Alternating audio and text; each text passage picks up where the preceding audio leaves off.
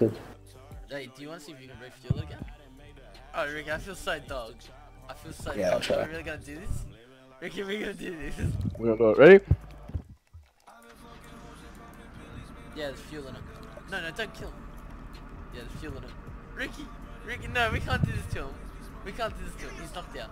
You got five grand. Let's go. Assalamualaikum, brother.